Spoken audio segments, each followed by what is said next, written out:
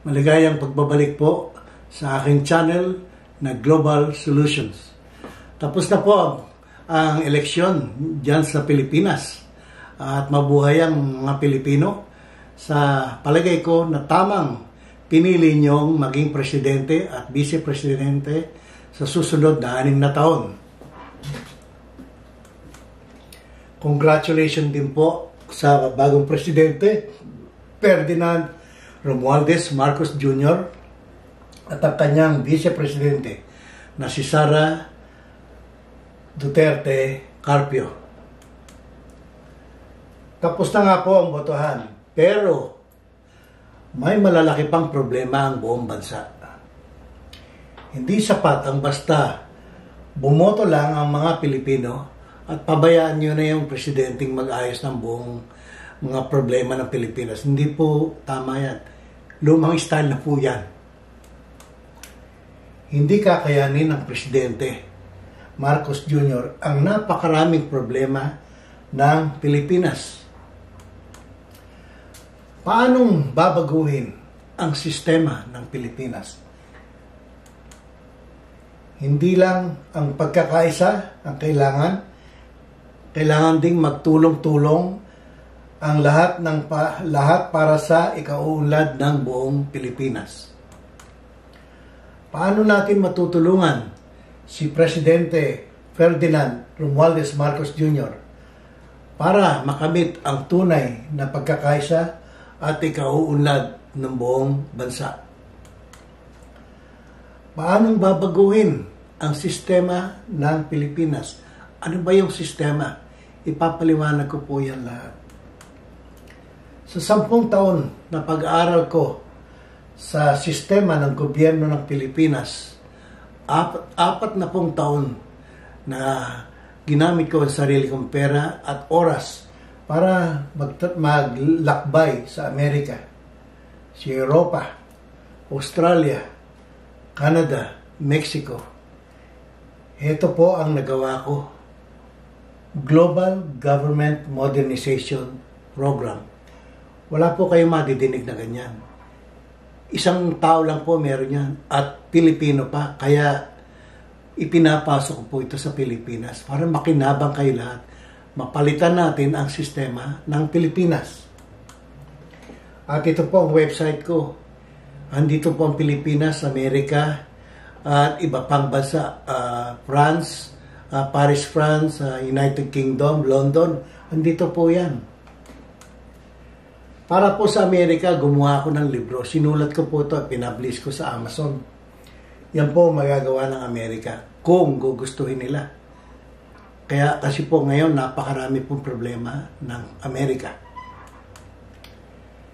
Para baguhin ang sistema ng gobyerno ng Pilipinas, nagawa ko po ng vlogs. Ito po ang pangalan niyan, DB Vlogs.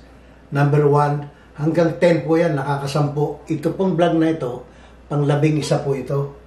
Ngayon ay nasa YouTube na lahat. May English, may Tagalog version po yan. Para sa Pilipinas, BBM at Sara, vlog number 1 ni Mang Daniel sa Amerika. Para sa ikauunlad ng Pilipinas, ito po yan, makikita nyo rito. Para umunlad ang Pilipinas, vlog number 2, My Life, Global Research of the World's Problems and Development of Solutions. Ito po. Blog number 3, BBM and Sara. Programs to choose from to solve problems. Blog number 4, BBM Agricultural Solutions. Andito po yan. Blog number 5, BBM Solutions, Climate Change. Wala pong ibang makakapag-ayos ng makakapag-solve ng climate change sa buong mundo. Ako lang po yan. At ipinagmamalaki ko po yan. Vlog number 6, solusyon ng BBM para sa magsasaka. Ito po ang bali Tagalog version ng isa.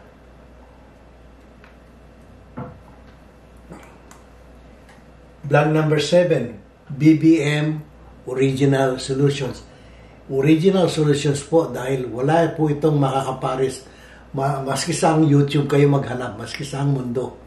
Wala pong may ganyang original solutions. Vlog number 8. Ito po ang pinakamalaki, pinaka-importanting vlog na kailangan matutunan nyo. Bakit mali na kopyahin ng Pilipinas ang Amerika? Andito po yan. Number one, bakit mali na kopyahin ang Constitution ng Amerika? Pati na ang Bill of Rights. Malaking problema po yan sa, para sa Pilipinas. Bakit mali na kopyahin ng Pilipinas ang sistema ng polis ng Amerika, pati na ang Miranda rights. Pinaliwanag ko po yung lahat dito. At bakit ito ang nagdudulot ng malalaking problema sa Pilipinas at iba pang bansa. Kasama po dyan ng Amerika. Kasama po dyan ng Australia. Ito po ang pinakamalaking problema ng mundo. Andito po lahat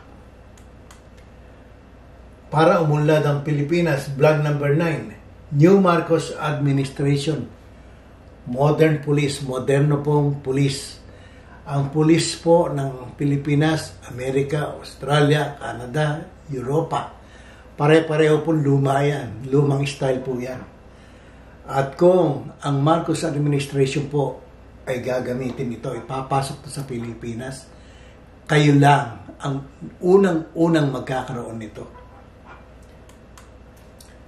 Vlog number 10. Ano ang pagkakamali ng, uh, ng Defense Secretary Delphine Lorenzana?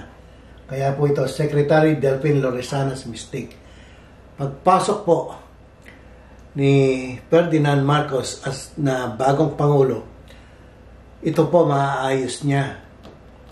Kung wala na po si Secretary Delphine Lorenzana, yung bago po makapag-ayos. Kung kung uh, mag stay po si uh, Delphine Lorenzana sa uh, pagka-secretary ng Defense, eh, siya po mag-aayos nito.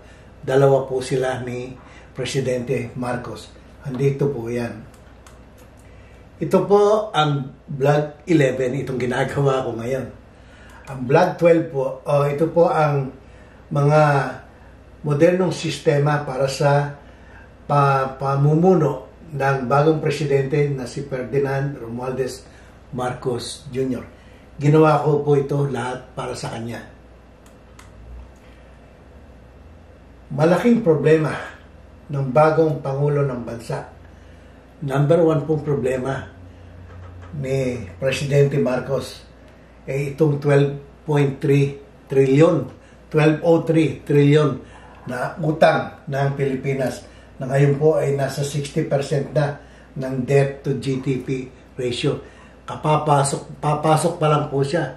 Halos hindi na po siya pwedeng umutang ng pera kung may mga kailangan po siyang uh, uh, project. Kaya po kailangan kailangan niya ang aking programa para makapagpasok ng pera ang programa ko. Pwede po dito, sinabi ko na po to sa iba kong vlog, Tsaka ito para po sa lawag. At ang katiwalaan sa gobyerno, ang ipapasok pong pera na to, hindi ito pera ng gobyerno. Hindi po. Pera po ito ng programa ko na gusto kong dalhin para sa Pilipinas para matulungan lalo ang mahihirap na Pilipino.